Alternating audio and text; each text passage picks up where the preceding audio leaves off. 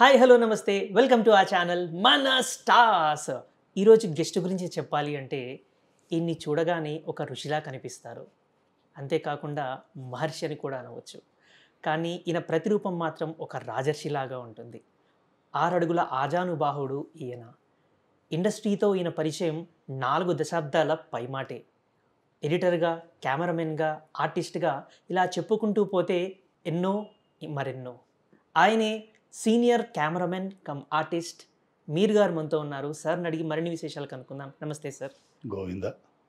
Sir first of all thank you so much అడగగానే సమయం ఇచ్చారు. మై ప్లెషర్ తప్పకుండా. సార్ ఫస్ట్ నేను తెలుసుకోవాలనుకున్న విషయం ఏంటంటే మీరు దాదాపుగా ఇండస్ట్రీకి వచ్చి నాలుగు దశాబ్దాల అనుభవం మీది. మీరు ఆ తరం నటులతో ప్లస్ నేటి తరం నటులతో కూడా మీరు పనిచేయడం జరుగుతుంది. మీరు అప్పట్లో మొబైల్ వాడేవారే కాదు అని ఒక నానుడి ఉంది. అది వాడకపోవడం వల్ల మీరు కొన్ని అవకాశాలు ఏమైనా కోల్పోయారా? లేదు ఇప్పుడు వాడుతున్నప్పుడు అవకాశాలు ఎక్కువగా వస్తున్నాయా?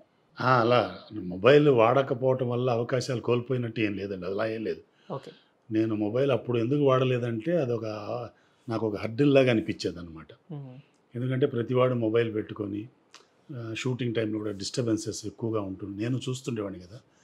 సో అందువల్ల నేను మొబైల్ వాడకూడదు అనుకున్నాను కానీ. తర్వాత ఏమైందంటే కొన్ని అనివార్య కారణాలు ఎలాంటివంటే ఇప్పుడు ఈ ల్యాండ్లైన్ సర్వీసెస్ బాగోగా అలాగే నేను ఎడిటింగ్ చేయడానికి మిగతా వాటికి కూడా ఈ వాట్సాప్లు అవి చాలా దాని అవసరం చాలా ఎక్కువ అయిపోయింది అనమాట సో నేను ఇంకా తల ఒగ్గి దానికి మొబైల్ తీసుకోవాల్సి వచ్చిందనమాట నా ఓన్లీ ఈ టెక్నాలజీని ఇచ్చేసుకోవటానికి అంటే ఇప్పుడు ఇప్పుడున్న ఇప్పుడున్న ఎడిటింగ్స్కి వాటికి ఆ టెక్నాలజీ కంపల్సరీ అవుతుంది.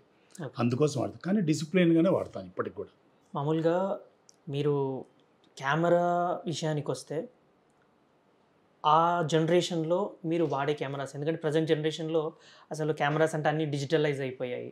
సో అప్పుడు వాడే కెమెరాస్ ఏంటి సార్?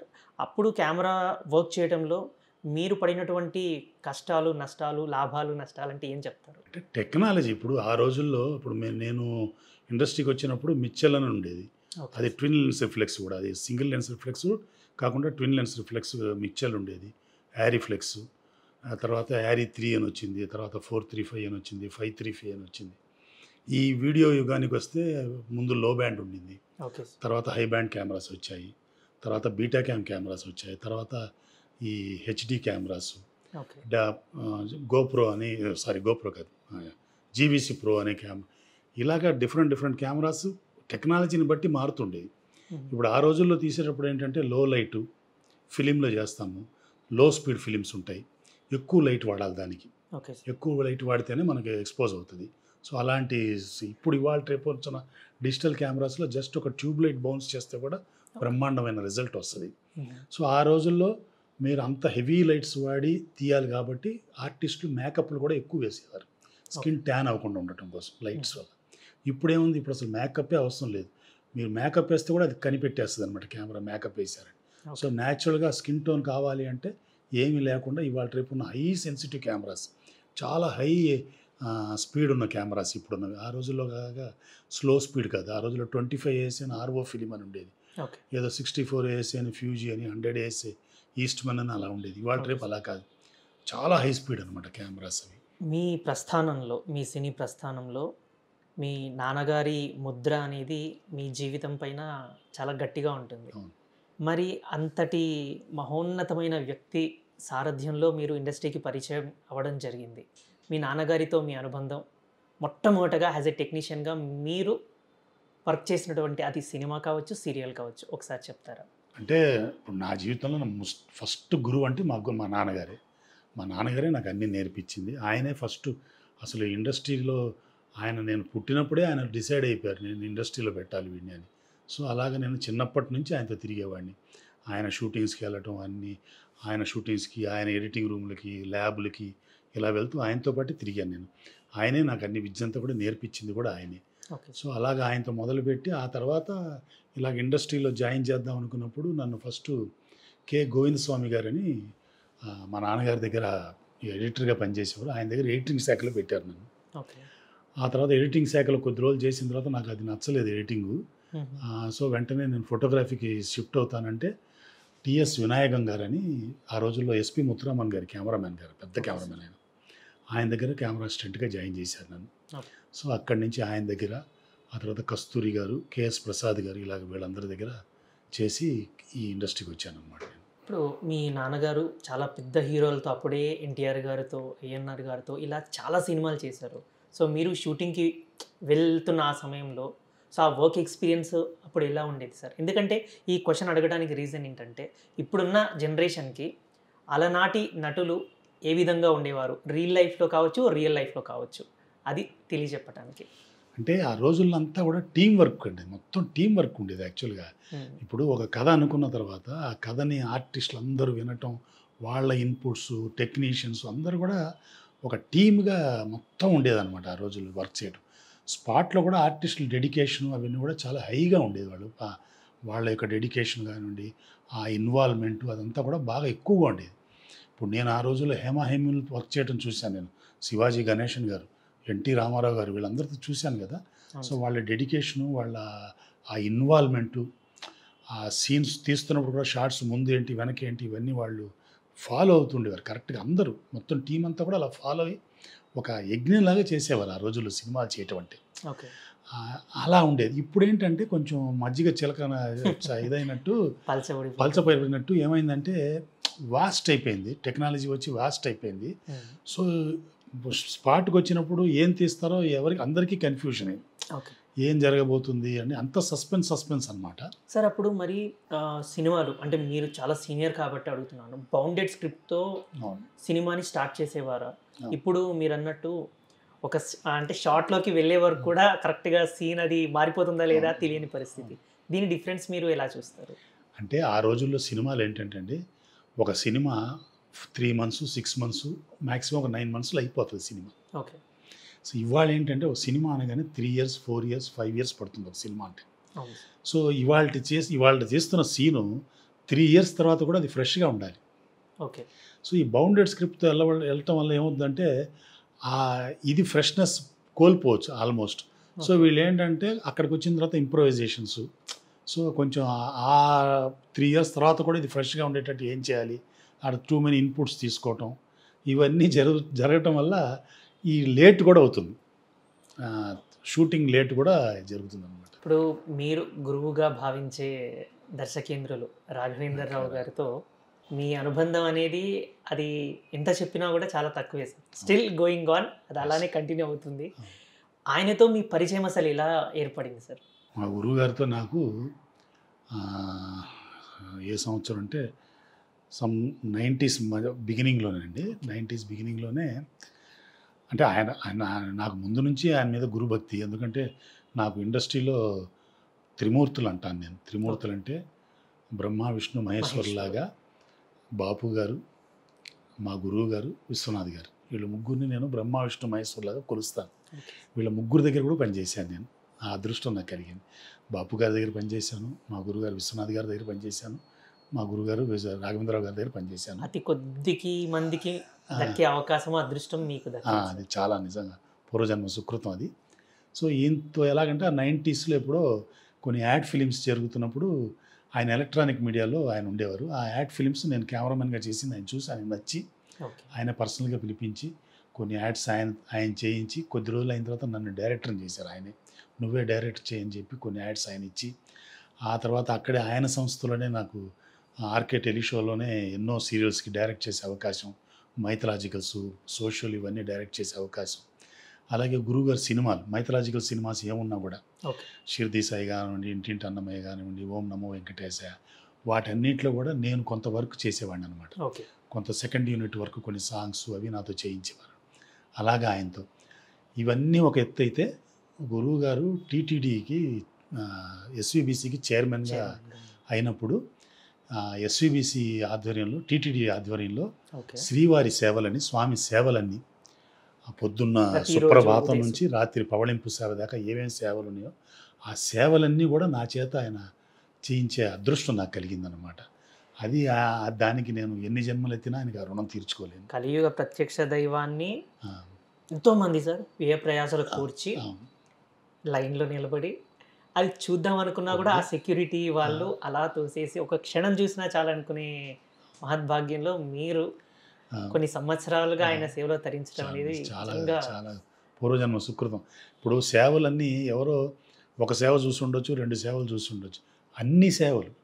పొద్దున తెల్లవారుజాన సుప్రభాతం నుంచి తోమాల సేవ కానివ్వండి వారాంతర సేవలు ఏదైతే అష్టదళ పాద పద్మారాధన కానివ్వండి తిరుప్పావడ కానివ్వండి అభిషేకం ఇలాగా లాస్ట్ రాత్రి పవళింపు సేవ ఆర్జిత సేవలు అలాగే కళ్యాణోత్సవాలు దీపాలంకరణ సేవ ఇలాంటి సేవలన్నీ కూడా నేను చూడడం అవి షూట్ చేయడం అనేది నిజంగా నా పూర్వజన్మ సుకృతం అది. మీరు గారంటే భక్తిపరంగా ఇతిహాసాల పరంగా సబ్జెక్ట్ అనేది చాలా లోతుగా క్షుణ్ణంగా పరిశోధన చేస్తారు. అందుకే మీరు మీ గురువు గారి దగ్గర మాక్సిమం భక్తి భక్తికి సంబంధించిన ఏవైతే మూవీస్ ఉంటాయో సెగ్మెంట్స్ కావచ్చో మీరు దానికి పని చేయడం జరిగింది. అంటే భక్తి పరంగానే కాకుండా ఓవరాల్గా గురుగారితో మీకున్నటువంటి ఆ వర్క్ ఎక్స్పీరియన్స్లో అంటే ఇది ఒకటే చెప్పమంటే చాలా అతిశయోక్తి అవుతుంది కానీ మిమ్మల్ని మెచ్చుకున్న సందర్భం కానీ మీకు మీ గురువు గారితో ఉన్నటువంటి ఏదైనా ఒక బెస్ట్ మెమరబుల్ ఎక్స్పీరియన్స్ అంటే ఏం చెప్తారు? అంటే మా గురుగారితో నాకు చాలా ఉన్నాయి. అంటే ఫస్ట్ ఏంటంటే అసలు ఆయన దగ్గర చాలా నేర్చుకున్నాను నేను. అంటే ఫస్ట్ అంతకుముందు ఆయన దగ్గర జాయిన్ అయ్యే ముందు డైరెక్షన్ అంటే చాలా చిన్న చూపు ఉండేది. ఏముంది? చాలా ఈజీ అని.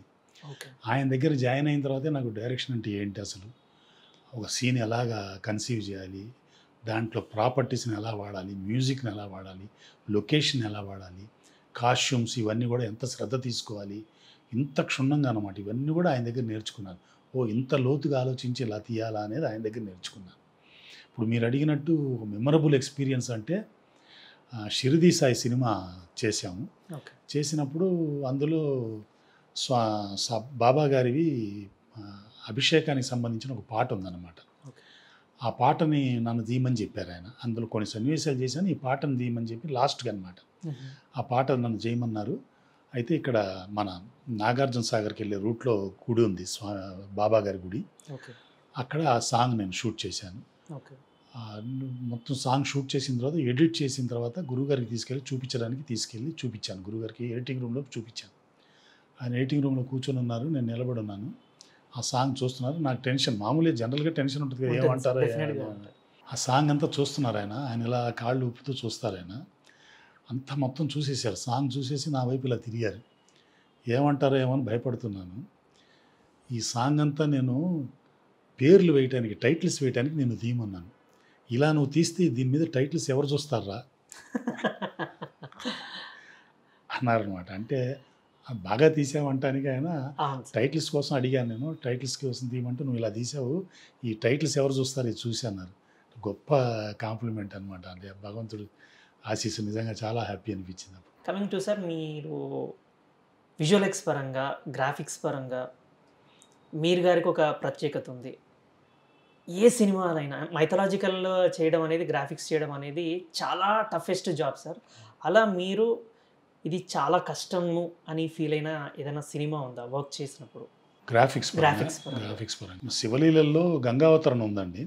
గంగావతరణ చేయాల్సి వచ్చింది. అది ఆల్రెడీ గురువుగారు బాపు గారు చాలా గొప్పగా చేశారు. ప్లస్ ఆయన భాగవతం అని పక్కన సీరియల్లో కూడా చేస్తున్నారు ఆయన. అలాంటి టైంలో గంగా అవతరణ చేయాల్సి వచ్చింది. అది ఎలా చేయాలో ఏంటని చాలా టెన్షన్ పడ్డాను. అంటే అది ఆల్రెడీ చూసేస్తున్నారు కదా గొప్పగా. ఇప్పుడు ఈ టైంలో నేను ఎలా చేస్తానో ఏంటో అని చెప్పి చాలా టెన్షన్ పడ్డాను ఆ టైంలో.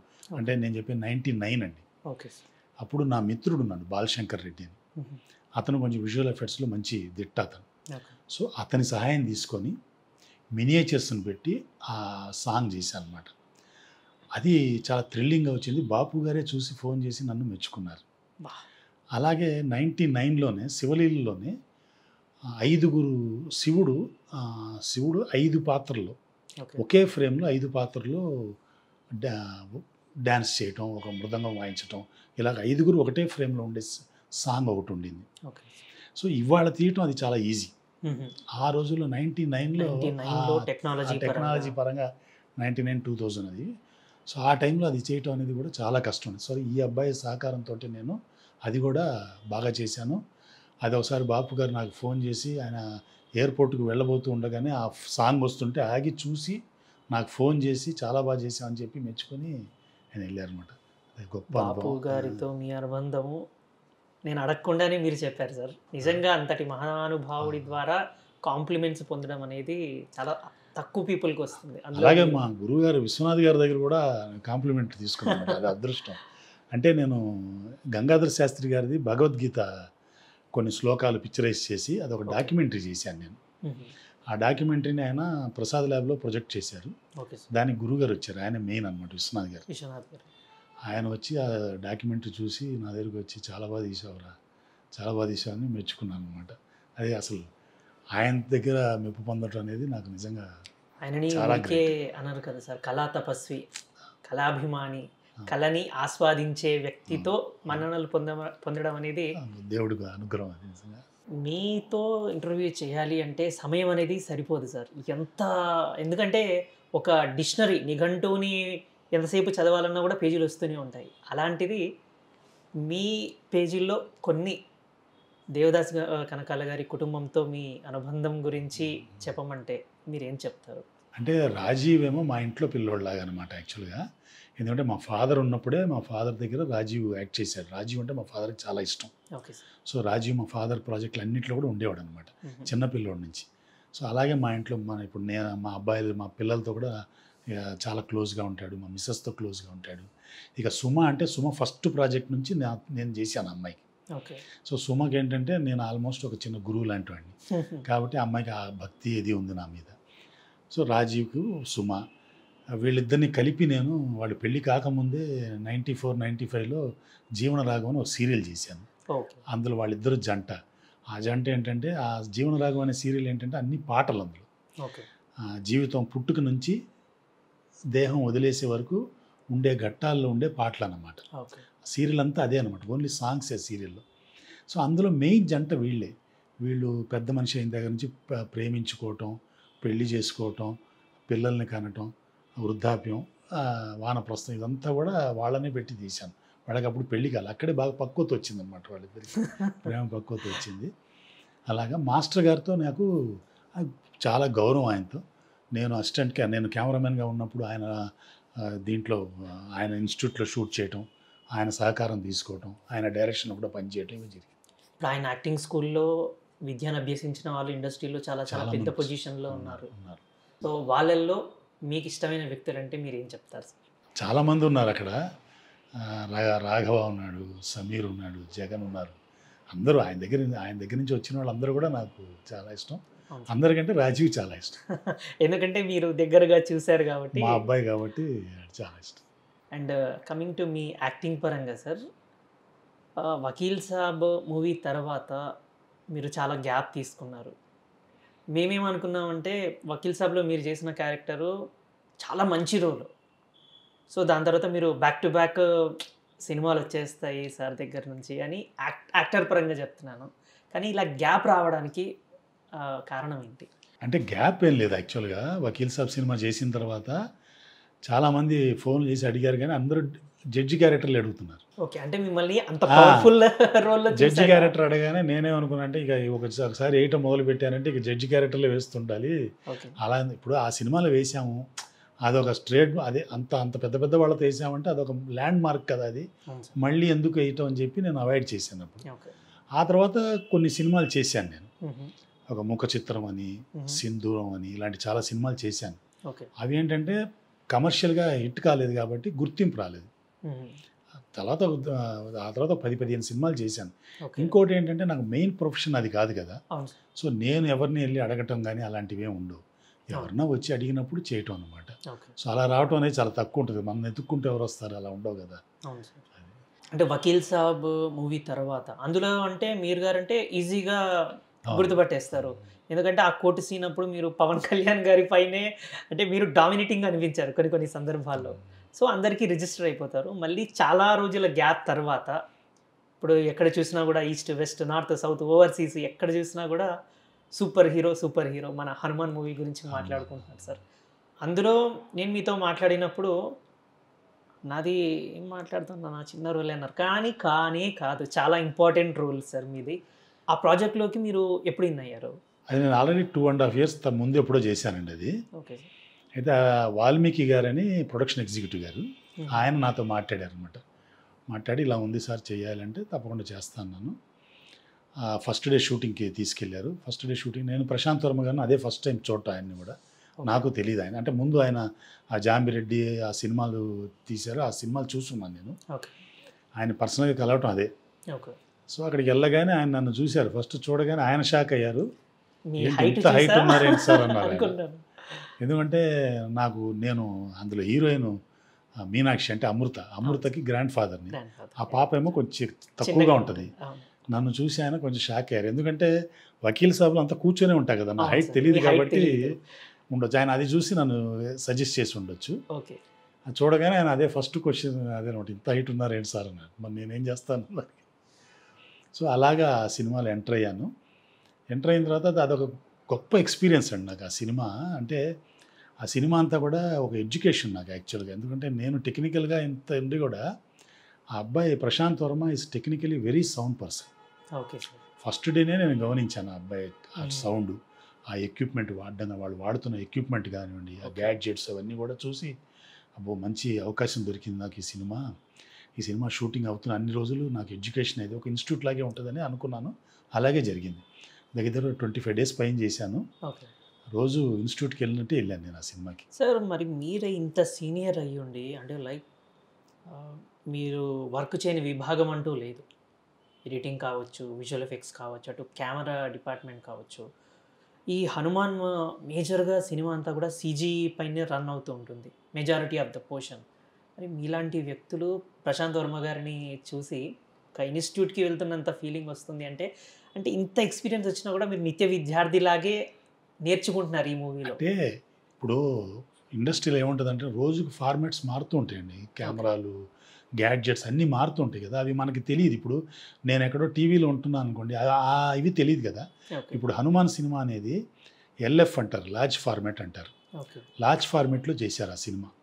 ఎందుకంటే ఎల్ఎఫ్లో తీయటం వల్ల అడ్వాంటేజ్ ఏంటంటే గ్రాఫిక్స్ ఎక్కువ ఉన్న సినిమాలకి ఎల్ఎఫ్లో తీస్తే ఎక్కువ షార్ప్నెస్ ఎక్కువ ఇమేజ్ ఉంటుంది అనమాట ఓకే. సో గ్రాఫిక్స్ పనిచేయడానికి బాగుంటుంది. సో ఇప్పుడు ఆర్ఆర్ఆర్ కూడా ఎల్ఎఫ్లో చేసింది. అది ఓకే.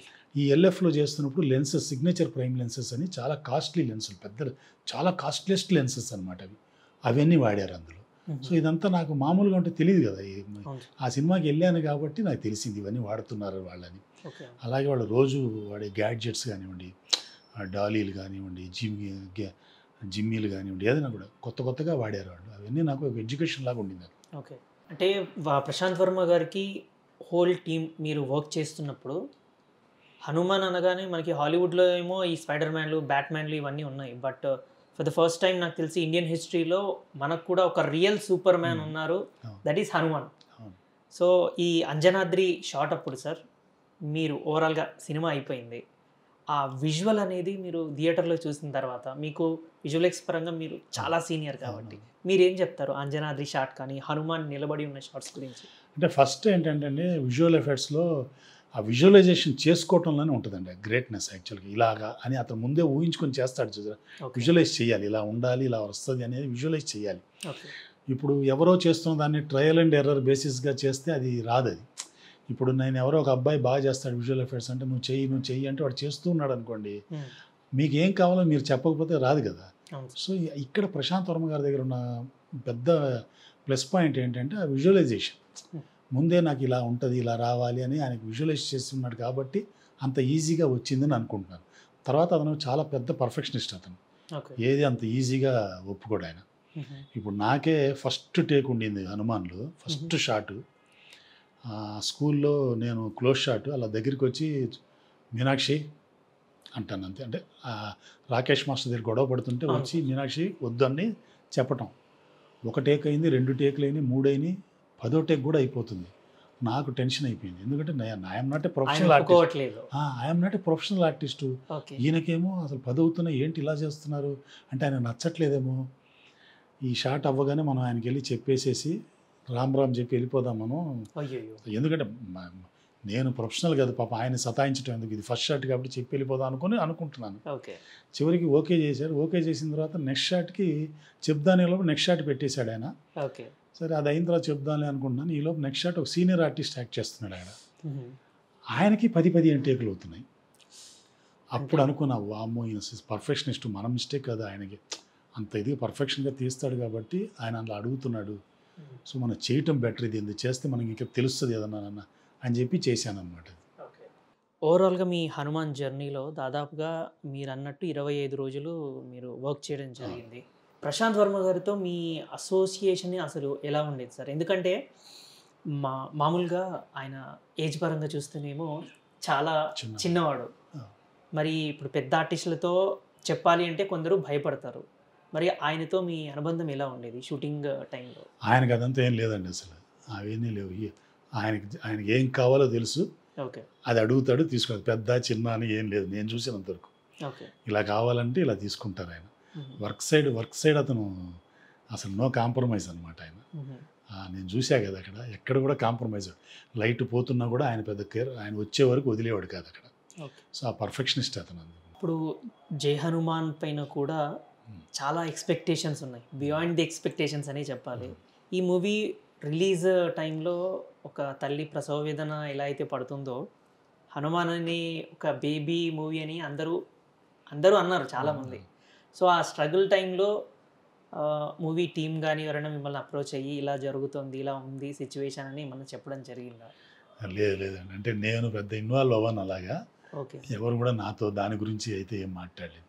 ఆఫ్టర్ రిలీజ్ అయితే ఇంకా అందరికీ అనుమానాలు అనేవి పటాపంచలైపోయాయి. పటాపంచలైపోయింది.